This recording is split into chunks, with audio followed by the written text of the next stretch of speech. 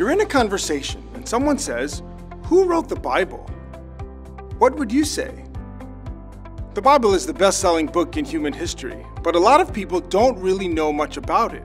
So it's not surprising that people wonder where did this book come from? Why was it written? And who wrote it?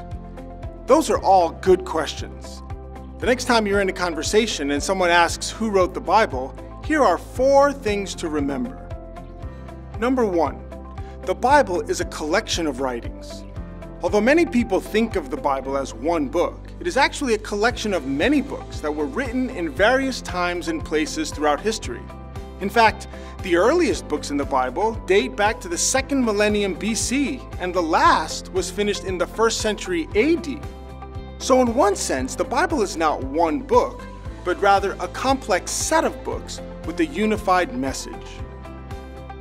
Number two, God used people to write down the words of the Bible.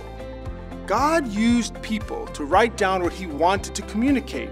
In some cases, we know the names of those people with confidence. Men like Moses, David, Isaiah, Matthew, and Paul were responsible for actually writing down the words of the Bible. These were real people who lived in a real historical context.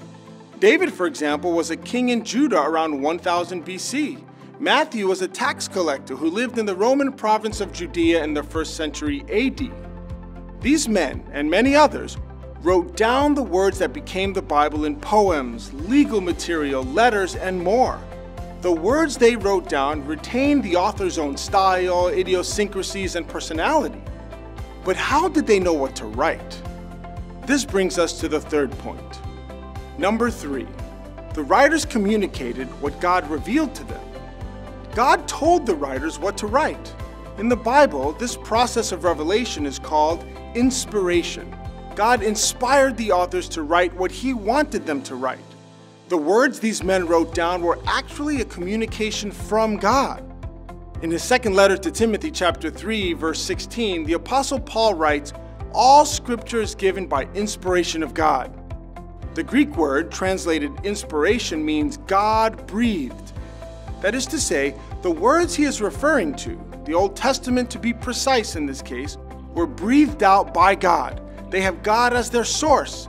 He's saying that God is the true author of the words that became the Bible. In his second letter, chapter 1, verse 21, the Apostle Peter writes, For prophecy never had its origin in the human will, but prophets, though human, spoke from God as they were carried along by the Holy Spirit. This passage, like the previous one, affirms that God is the ultimate source of the Bible. The authors of the Bible did not decide to be creative and make something new. The Bible tells us that God communicated with them and they wrote down what He gave to them.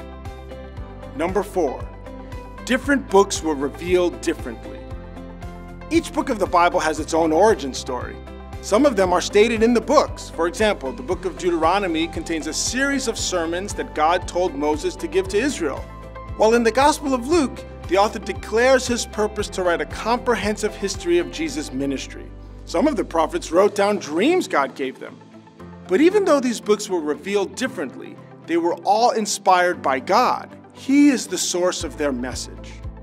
The conclusion we can come to based on these verses is this God is the author of the Bible, and He used men to write it down. God is responsible for its content, and it comes to us with His authority. So the next time you're talking about holy books and someone asks who wrote the Bible, remember these four things. Number one, the Bible is a collection of writings.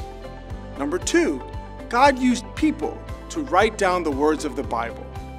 Number three, the writers communicated what God revealed to them. Number four, different books were revealed differently. For what would you say? I'm Stephen Sanchez.